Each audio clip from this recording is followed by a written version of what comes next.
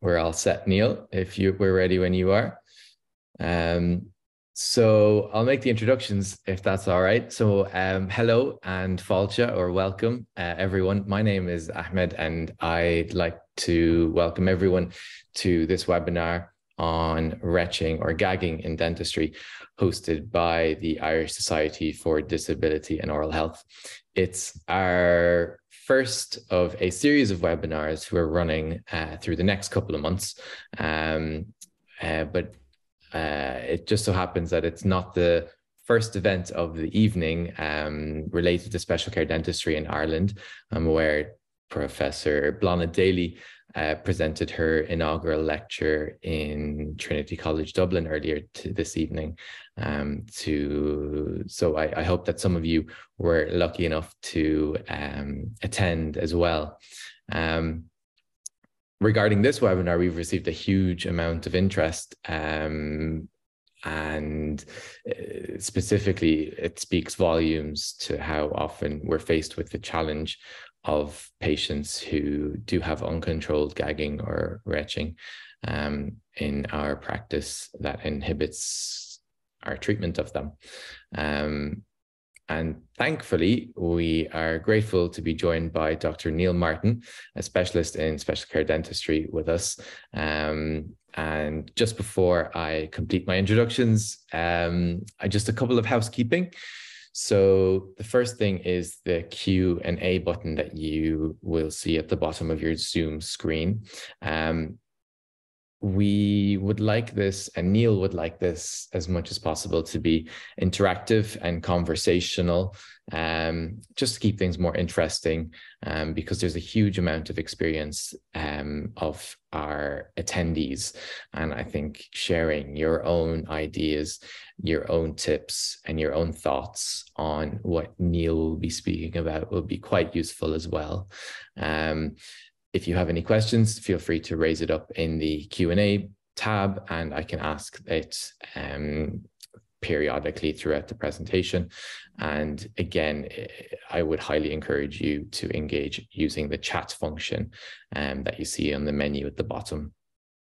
Um, there'll also be a couple of polls throughout to encourage everyone to kind of maintain the interactivity and also to give Neil an idea of where everyone comes from and their background. Um, for anyone who has a salient point to raise, um, you can pop your hand up if you'd like. Uh, feel free to do so at any stage as well. Again, we want to keep this um, interactive and conversational. So if you do want to speak up, just you can press the raise hand button and uh, and I'll put you through to Neil. Um, and there is a closed captioning function as well that I see some of you have already started to use. Uh, it's quite useful.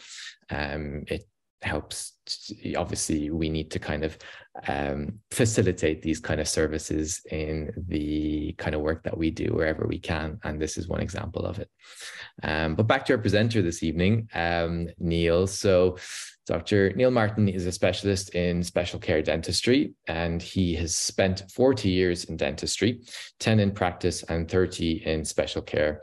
His main interests are uh, the local anesthetic and sedation of patients, um, and also in coaching and mentoring of his junior colleagues. So, Neil, without further ado, if you can take it away, please. Okay. Uh, good evening, everyone. I hope you can hear me okay.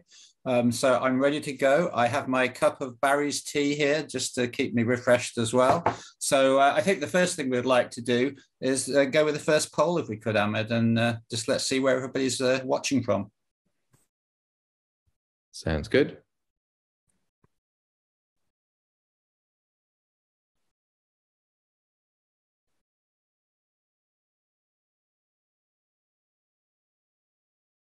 I'll give everyone just a couple of minutes to to pop their backgrounds in.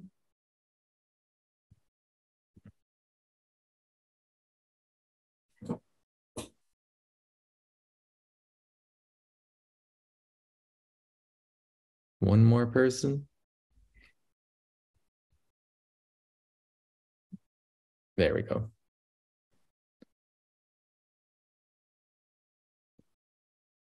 Okay, let me share the results here for you, Neil.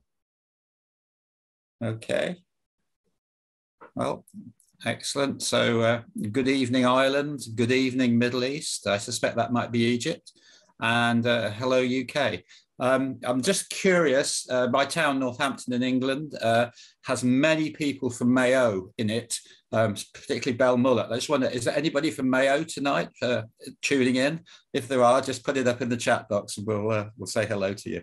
Okay, so we can close that, Ahmed, and we'll uh, start the presentation. Okay.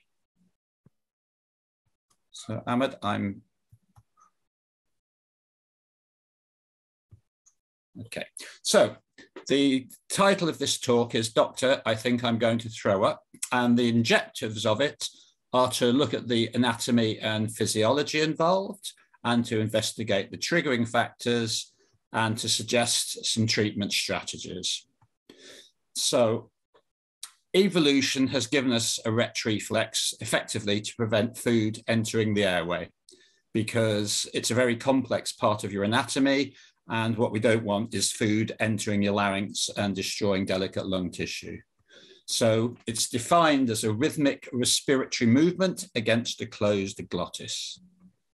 Prolonged retching can lead to vomiting, and the definition of vomiting is forced expulsion of the upper gastrointestinal contents.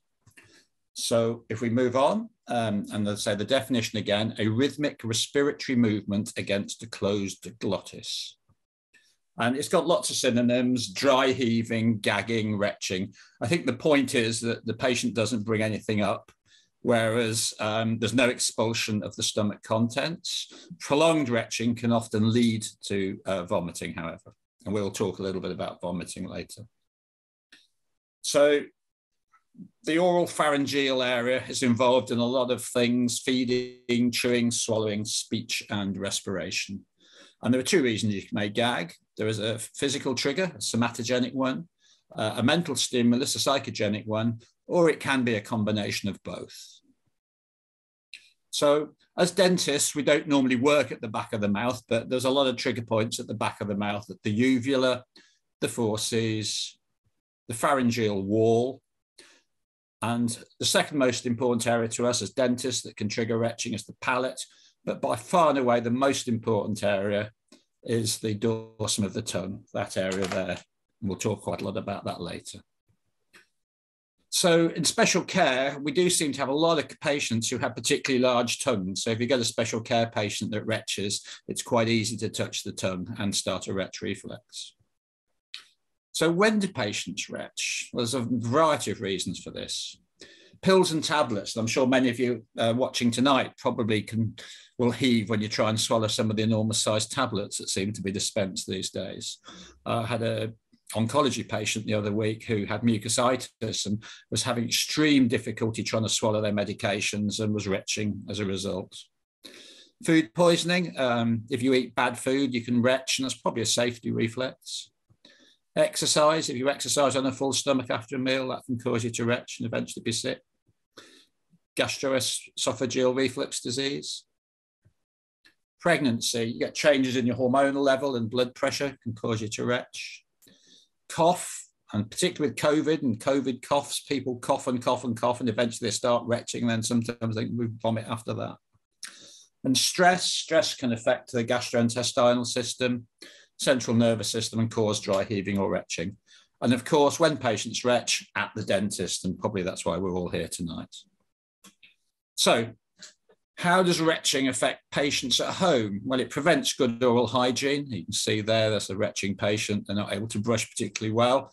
Um, one tip I was told was don't use really cold water, use warmer water, and you can experiment with different toothbrushes. If you've got any hygienists attending tonight, maybe you'd like to put in the chat box some suggestions as to how a retching patient might improve their oral hygiene at home. Be interested to see if there is anybody that can uh, submit that. So, how does it affect patients at the dentist? And it's severely embarrassing for the patient. Um, quite often we don't really realize that patients can be really embarrassed at the dentist and we just sort of say oh, pull yourself together and get on with it. But it can be very embarrassing. There's a paper here um, the contribution of embarrassment to phobic anxiety research study. So you know we have to be sensitive. We have to have a good relationship uh, with our patients. We need good rapport and you need to take the problem seriously and you need to develop patient confidence. And often with retching patients, it's the building of a strategy over time there's not an instant solution. So the three main offenders uh, for retching, first of all, uh, x-rays. Very often the first sign you get of a patient that retches is trying to put a bite wing in and that's when you find out they retch. So how can you get around that? You can't take panels as often as you can take bite wings, but we quite often use the lateral oblique view. The patient holds a cassette outside their mouth and we're able to get a reasonable view, not as good as bite wings, but it's an acceptable alternative. Impressions, and this is where working with your nurse is important. If you, especially with alginate, if you've got a nurse that can mix up a good mix with warm water that goes in the mouth, sets and comes out very quickly, then you're much less likely to get the patient to retch. If you mix up with freezing cold water and it's in the patient's mouth a long time, you're more likely to get retching happening. And the third thing is suction tips suction tips, uh, you, your nurse needs to know where to put them. And it's your responsibility as the dentist to make sure they, they know the areas to stay away from. So if uh, a patient does retch and eventually vomits, then it's not good for the dental. It's not good for the dental team. You can get a delayed list. You can get an odor hanging in the air, and the poor old nurse ends up cleaning up the bodily fluids. I've never known a dentist actually do that. It always seems to be the nurses that do. So it's really important to have a good team, a uh, good dental nurse on board with you. Um, they're a vital part of the treatment team. They need to be aware of where to put the suction tips. So you need to tell them, you know, don't don't touch the sensitive areas that we mentioned earlier on. And let's look at some papers now. So when I qualified, Janet Fiske was the big guru on retching, and there was a lot of uh, information out there. And then it seems to have died away a little bit. Um, many of the papers have got small numbers. Um, and I suppose since the pandemic's happened, I've been a lot more cynical and critical about papers when I look at them. I think beforehand, I'll just accept what the paper said and not question it. But I think nowadays, um, I'm more challenging when I look at papers. Many of the papers on retching have got small numbers, but there's a few of interest just upcoming. So this paper comes up a lot um, when you do searches on retching and gagging, and it's probably the most serious side of a slide I will show tonight. But you have to bear in mind that retching might be a sign of abuse, and this was quite a big study, 448 participants, and you can you can read the uh, conclusion there below yourselves. But you know, if you do have somebody that's a profound retch that's possibly a young woman, you, then you need to bear in mind there might be other things going on. I'll just leave that there for a minute or two for you to have a look at. Okay, so we'll move on now. Phobias, greater dental care related fear and pain are related to higher incidence of gagging problems during dental treatment. There's a paper there that uh, discusses that. And this is the Van Houtem paper. This paper was from Holland, big number, 11,000 participants. They found that 8% of their patients retched, mostly female, or females more. A lower level of education was linked to retching and higher levels of dental anxiety and high numbers of untreated cavities, gingival bleeding, and full dentures. So it's fairly self-evident, I suppose. But a little bit counterintuitive is the last um, conclusion, which is there wasn't any less attendance. Greater dental care related to fear and pain are related to higher frequency of gagging problems during dental treatment, but they found that their patients still came. And that may be a cultural difference that going to the dentist in Holland is regarded in higher esteem than maybe Ireland or England. But uh, that was their conclusions, but that was a big study. So Janet Fiske invented the gagging severity index, which you can see there, and she graded gagging by four, or sorry, five different types, from normal gagging, which was very mild and occasional, to fifth, which was very severe gagging, affecting patient behavior and dental attendance and making treatment impossible. And then if we look at the next study, this is the Halleck study, they used that, um, that index to predict uh, patients' uh, gagging intensity. And they also did a questionnaire, which I'll show you here. And it's on the right there, and it asks various questions about do you have a gag reflex? How strong is it? Um, you grade it. Um, have you ever had a negative incident with gagging? Have you ever gagged at a dental orthodontist office before? And then it discusses what procedures you've gagged with. And then there's a scoring survey on the left there, and the um, questionnaire is scored, and you get a turn the handle, you get a score, and um, you see the intensity of the patient's gag reflex. So the results, they say there was a moderate, moderate positive correlation between the predictive gagging survey and the Fiske and Dickinson Gaggy Severity Index, which is the one we just looked at. But then in the conclusions, they say um, we establish that this is a reliable and valid method to assess the strength of the patient or someone's gag reflex. So they're sort of jumping a little bit from a moderate, moderate positive correlation to a um, you know, very reliable and valid method. So you've got to be a bit careful when you read papers. Um, this Almos-Nino et al. Um, 54 patients with exaggerated gag reflex, DMFT and plaque index scores were high amongst patients with exaggerated gag reflex, which I, I guess is self-evident, but it's nice to have a paper to prove it. And pregnancy, if you get a, a young woman of childbearing age who hasn't gagged before but has developed a gag reflex, you have to um, consider that you know it might be a sign of early pregnancy.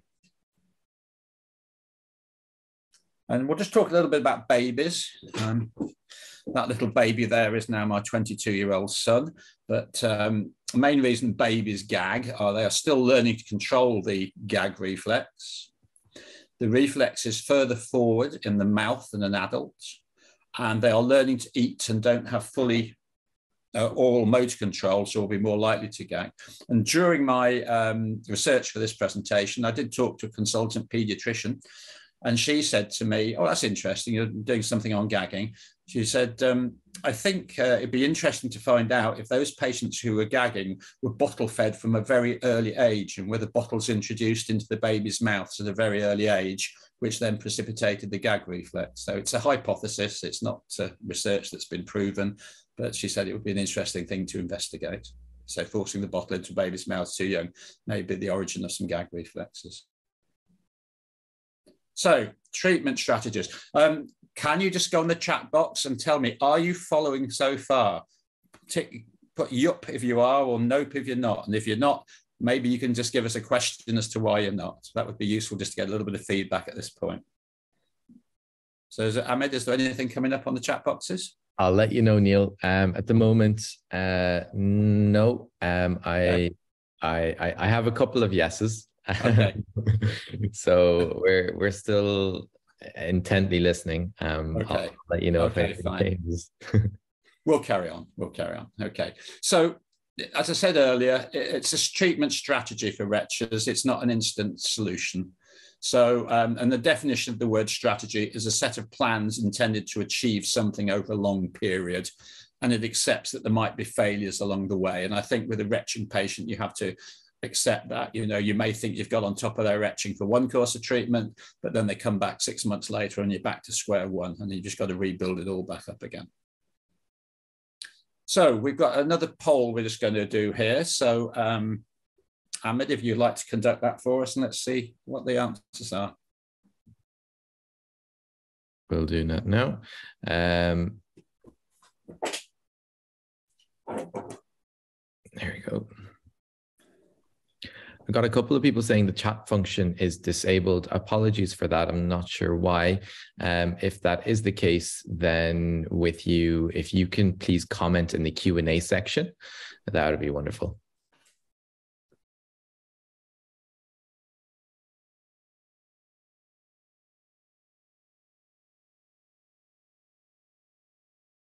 Nice. We have lots of answers coming through.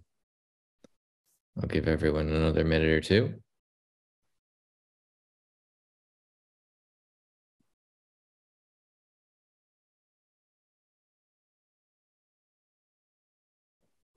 Okay. Speak now or forever hold your peace. Right. Here you go, Neil. Okay.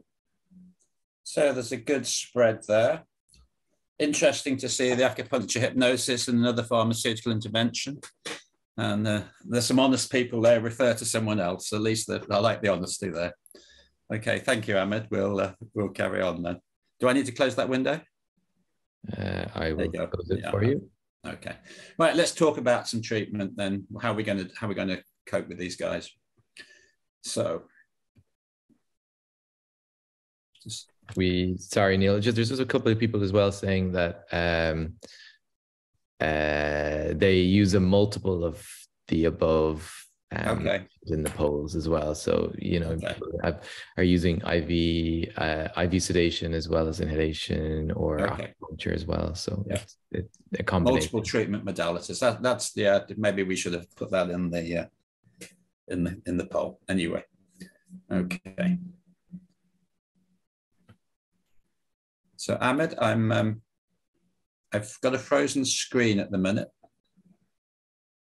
All right, we'll see. We'll give it a minute because um, it might be just because of the poll that I okay. got rid of.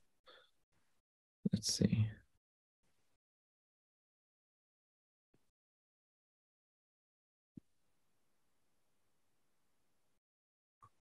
It's not changing, is it? No. Uh, do you want to just come out of it and come back in for a second, Neil? As in, in terms of just the presentation mode. Okay, so help. Stop. Not, stop. You mean stop sharing and come back in? Okay. Yeah, sure. Do that and see. Okay, and now try and share the screen again. You can't have a webinar without one technical difficulty.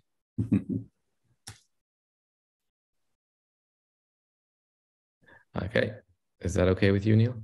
Yeah, let's just see treatment modalities. No, it's still stuck. That's okay. Okay, yeah. Yeah, good. Okay. So we're going to deal with complementary therapy modalities, non-pharmaceutical, local anesthesia, sedation, and general anesthesia. So let's start off with complementary dietary supplementation. So first one is ginger. And if you drink ginger tea before you have a treatment intervention, then there's paper here, the effectiveness of ginger in the prevention of nausea and vomiting during pregnancy and chemotherapy. So they're claiming it's effective to drink your ginger tea beforehand, and there may be some truth in that. Uh, the next one is peppermint, and this was another one related to oncology, really. Um, the effects of peppermint oil on nausea, vomiting, and retching in cancer patients undergoing chemotherapy. So, this one, peppermint oil, is placed on the lips just ahead of the anterior nares around the nose. And the, the effect of the, the peppermint oil scent, I think, um, seems to have a soothing effect on the, uh, the retching reflex. And the final one is salt. Um, there was a lot of talk about salt in the last few years, but this paper actually is from 1988. But the effect of sodium chloride on the reduction of gag reflex. You just place some salt on the tongue, and uh, apparently um, you get a good uh, good cessation of the retch reflex. It's not a technique I've tried, but uh, you know, be interested to know anybody out there viewing tonight. Uh, if you've had an experience, let us know on the Q and A or on the chat box. Can I interrupt you there for a second? Yeah, sure. Um, I uh, Emma has put her hand up. I want to. I'm I'm curious. Yeah, sure. If if she'd like to um to just uh give her opinion on something, um, and if so, she can just turn on her audio. Um, and alternatively, she can just put her opinion on the chat as well. Um, but also, we have a couple of people who were saying that acupressure is something that they. It's coming up. It's coming up. Also use. Okay, good, good. They, they're they're they're getting ahead of us, aren't they? um, perfect. Okay, well, that's. Is Emma uh, going to talk to us or not? Uh, well, it yeah, I, have given her permission. It might have been an accident. Um, okay. so she, Emma, if, if if if you want to speak, you can just um, unmute. Otherwise, we can keep going. That's no problem. And actually, Catherine has also mentioned that she's used salt on the tongue when taking bite wings a few times, which has worked quite well for her for suppressing the patient's gag reflex. So excellent. Okay. Goodness. Yeah. Okay, we ca- we carry on then. Yeah. So, um, non-invasive, non-pharmaceutical therapies, CBT. Uh, if you've been in the ISDH for a number of years, we, there was a kind of period about 2016, 17 when we did a lot of work on cognitive behavioral therapy. Um, for those of you who aren't familiar with it, there's a definition of it. It's a kind of talking therapy, um, which teaches you uh, coping skills for dealing with different problems and focuses on your thoughts, beliefs, and attitudes and how they affect your feelings and actions. Um, there's a lot of stuff on CBT out there. There's a book there, Free Yourself from Emetophobia, uh, and there's some um, paper. There's a paper there, time intensive cognitive behavioral therapy for specific for phobia of vomiting. So it, there's a lot of work out there on CBT. Um, hypnosis. I did a hypnosis course years and years ago, and whilst I don't do hypnosis per se anymore. A lot of the stuff I learned is in my normal clinical techniques. So hypnosis is only useful, obviously, for cognitive patients, and in special care, we see a lot of patients who aren't cognitive. Um, it works well with patients for whom you have a great rapport, but with special care, and when I was in practice, I found I had a lot of hypnosis patients uh, and it worked well on them, but it's difficult to build that rapport with special care patients as much. And also, hypnosis is quite time intensive, although there are some therapies and techniques in hypnosis which are designed to be shorter. Um, it is still quite intensive in terms of time. So that's hypnosis. Uh, we'll move on now to acupuncture. And there's case series there. It's only 20, 20 subjects, but I've done that some acupuncture training and, and I, I, am a believer. I think it works well. Um, the top left picture, you can see the chin point, that's CV24, and that's direct point to stop retching. Also, the top of the head there, you can see, and that is generalized acupuncture points just to relieve stress and anxiety. And this small study, but it did show a significant reduction in the gag reflex. And um, acupuncture, this is the CV24 uh, point, and um, Ahmed, this is where the IT is going to probably be challenging. So can we see the little video? So this is uh, my colleague Kat, and there I am placing an acupuncture needle in her CV 24 point. Uh, I think it'll replay again. And that's just in the chin. And that works really well for acupuncture in a lot of cases. It's not, not foolproof, but it works well most cases. Okay, so now we need to go back to sharing the screen again. So Ahmed, if you could just stop the video, thank you.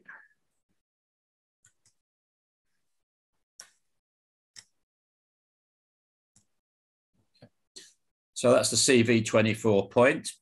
Um, there's a, oh, we, the free screen's frozen again, I'm gonna think.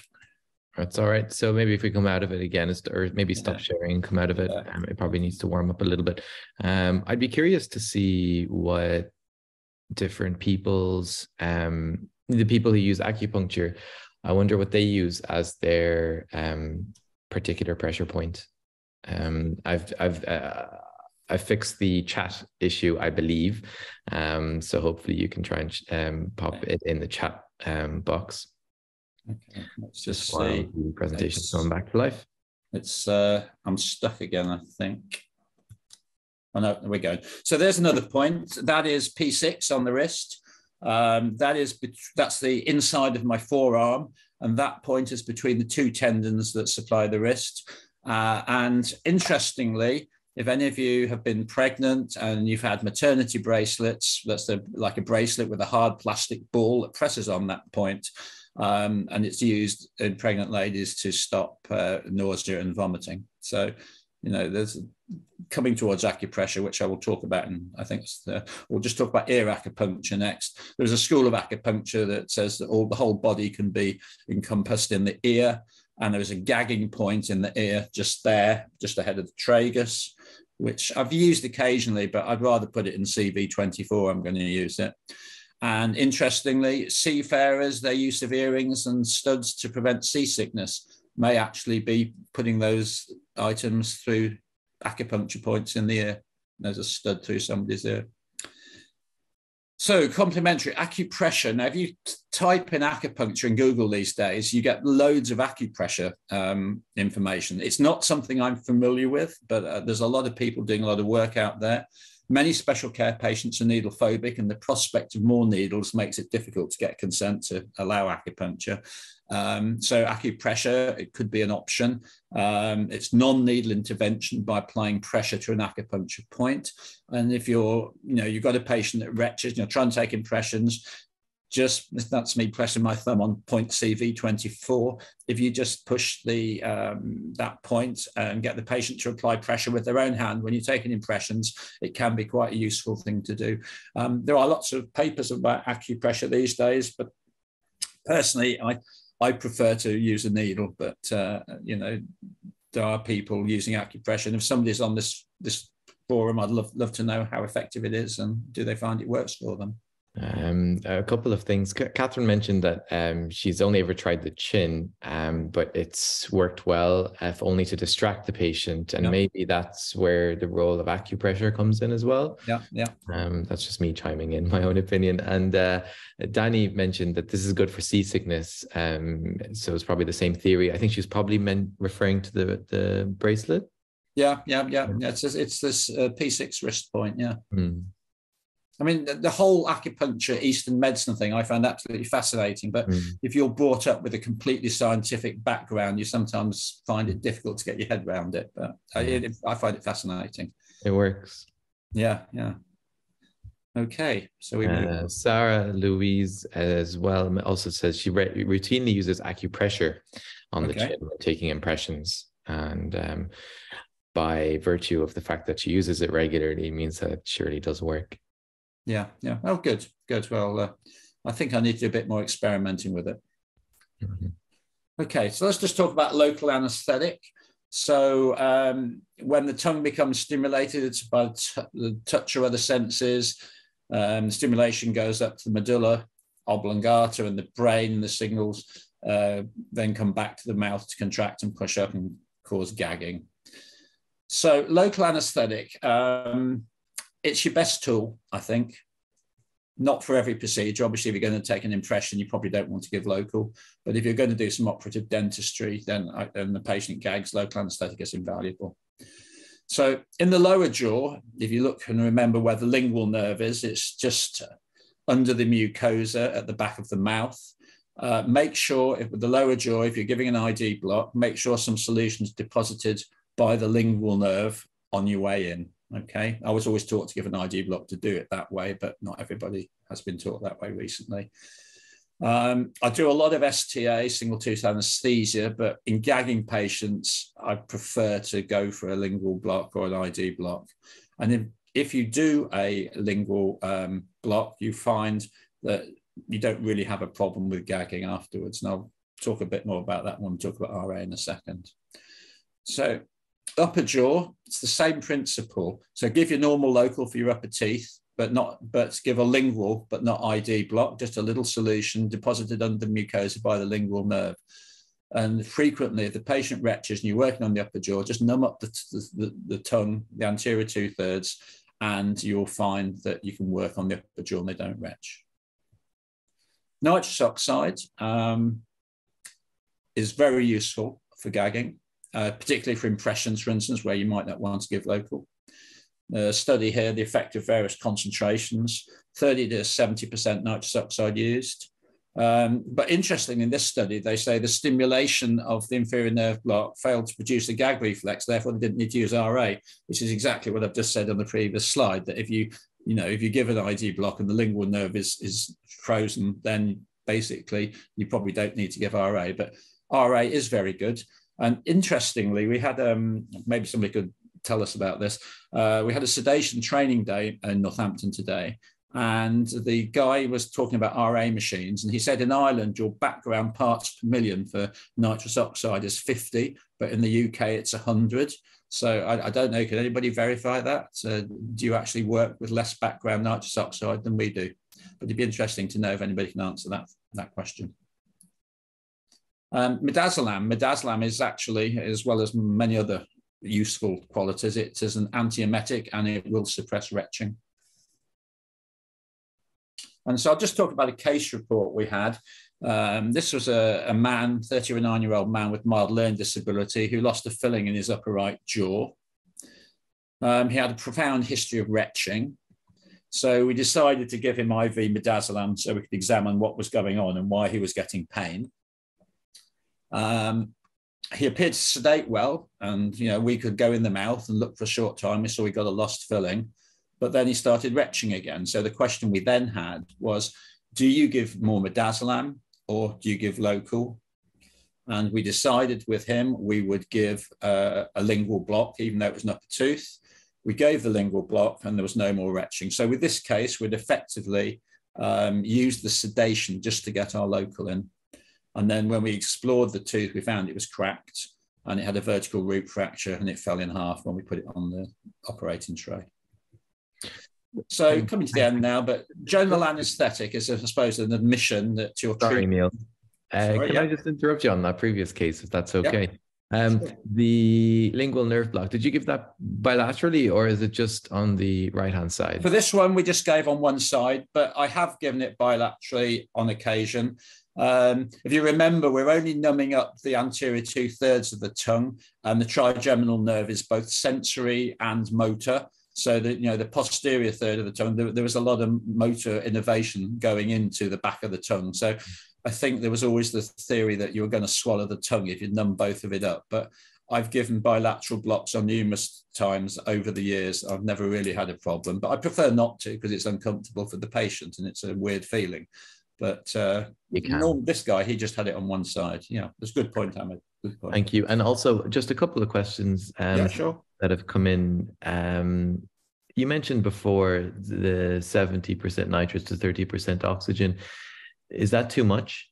Uh, you try well, you titrate it to the patient response, don't you? Um, yeah, I, I, I, would never, I, I, would never give normally that high, but there has been the odd occasion where I have, maybe just to get local in and then you know brought it back down to 30 or 40 afterwards but it's not the optimum level. It's not um, the optimum but you can was, right that, that, was that was quoting what the paper said okay? They were using different things. And if somebody is a real profound retcher you might need to use more than you possibly normally do. Yeah yeah. Um and uh, that's fine that's fine. Thank you very much. I have a couple of questions that i can ask at the end as well so. yeah okay.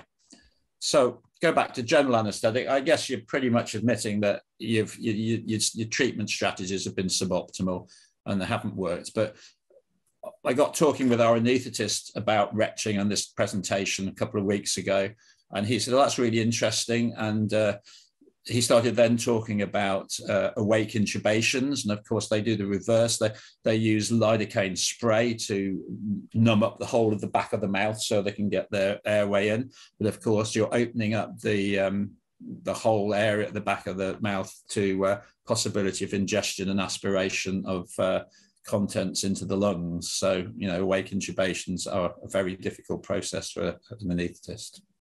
So that's pretty much. Um, the talk. I'm just going to give two takeout points. Local anesthetic suppression of the lingual nerve is a very effective treatment intervention for upper and lower jaw. Other modalities may have to be used to facilitate the uh, administration of LA.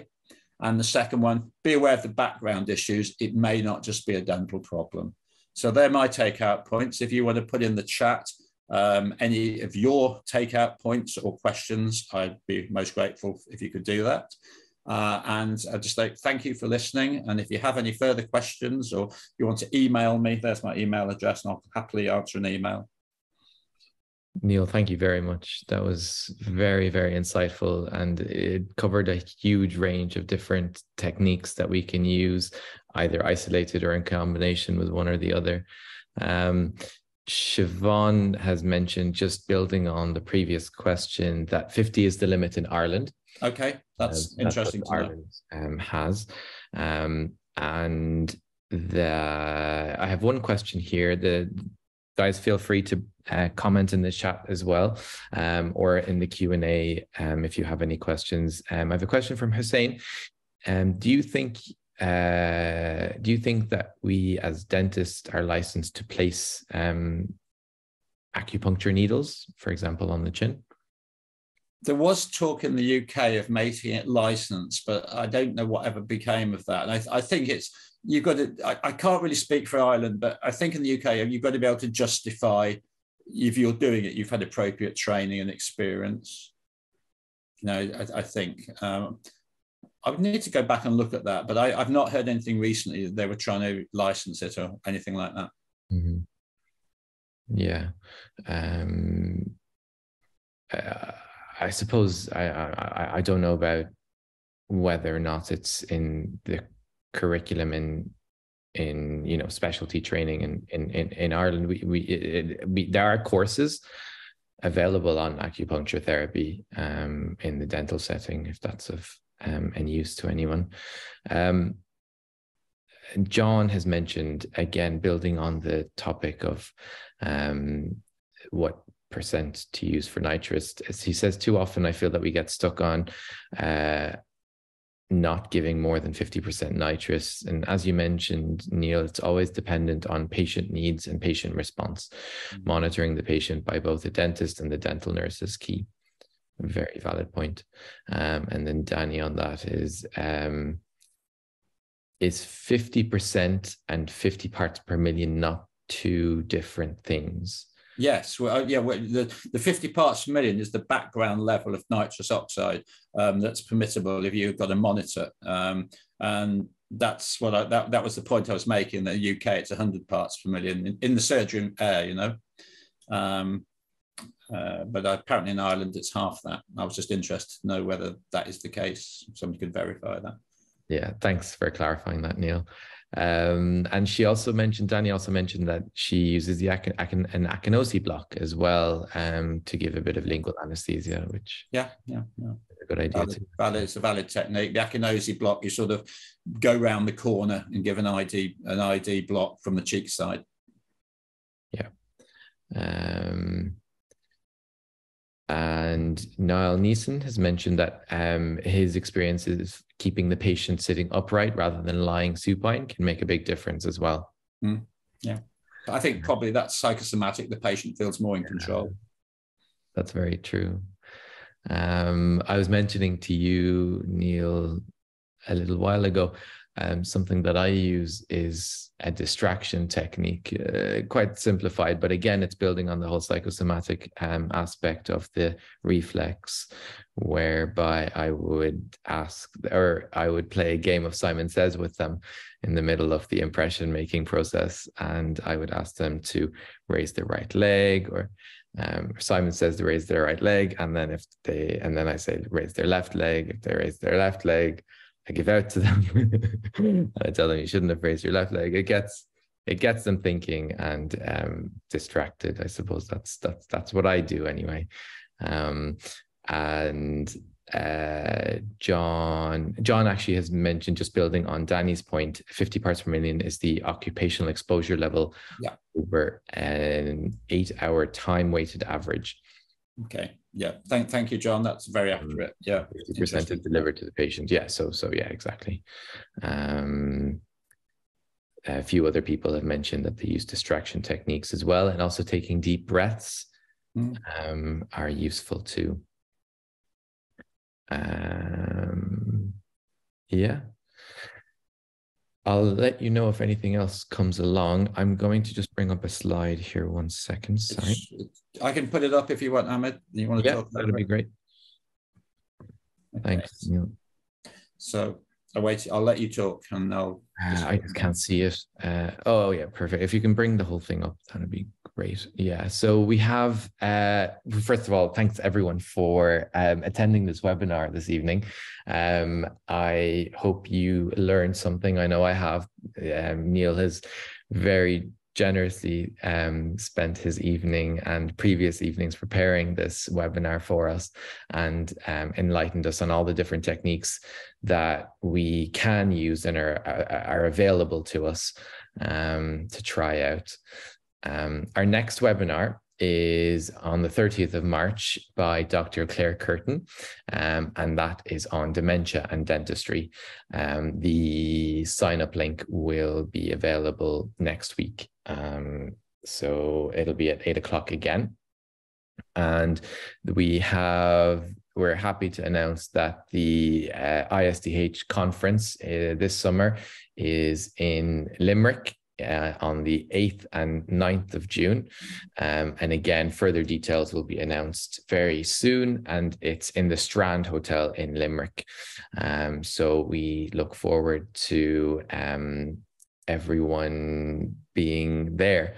And then the last thing as well is um, we're proud to announce that the um, some of you might already know this, but the 2026 IADH Congress will be happening in Dublin, which is amazing news. Um, and we it was a lot of work in the background to try and get this bid through um, by the organizing committee, and uh, they did very well to do so. Um, and they will continue to work um, from now until the date of the conference in 2026 to make sure it is one of the best, and I'm sure it will be. Um, and again, um, just provisionally have uh, some space in your diary for that. Again, it's it's not until a few years' time, but just to be excited for that, I suppose. Um, and let's see, there's just a couple of people coming in there. There's a huge amount of uh, well wishes and thanks to you, Neil, coming through. Um, again, thank you. And I'd, I'd just like to add, I got involved with the ISDH because I went to the conference in Limerick. I think it was back in 2014, and uh, it, it, was just such good fun that I think I've been to every one you've held since. So I'd recommend it to anybody over the Irish Sea that thinking of wants to go to Ireland to a conference. It, it's good fun. Yeah, and there's lots of things to do there as well in Limerick, and uh, yeah, it's it's it's it's very much a social thing, and yeah, I I had the same feeling exactly as you, Neil, when I started a few years ago. Um, I I am not sure if Ewa Jans wants to mention something. She had her hand raised. Um, if you do, I've I've I've uh, allowed you to speak. Um, you can just unmute yourself if you do wish to con- if you do wish to speak. Um, and Danny has linked an article that uh, everyone can see um, or the HSA um, uh, publication. And that is it. Lots and lots and lots of thank yous. Um, and even thank you from Egypt. So um, it was a hit worldwide, Neil. Thank you very much. And my fi- my final words will be thank you to you, Ahmed, and thank you to Kim for facilitating. And I'll, just say thank you to Raj in England as well for just giving me a little bit of a, a hand uh, with some of the preparations. So thanks to all three of you. Thanks, Neil. And thanks to everyone who attended. And I hope to see everyone on the 30th of March for the next webinar. Take care and have a good evening. Okay.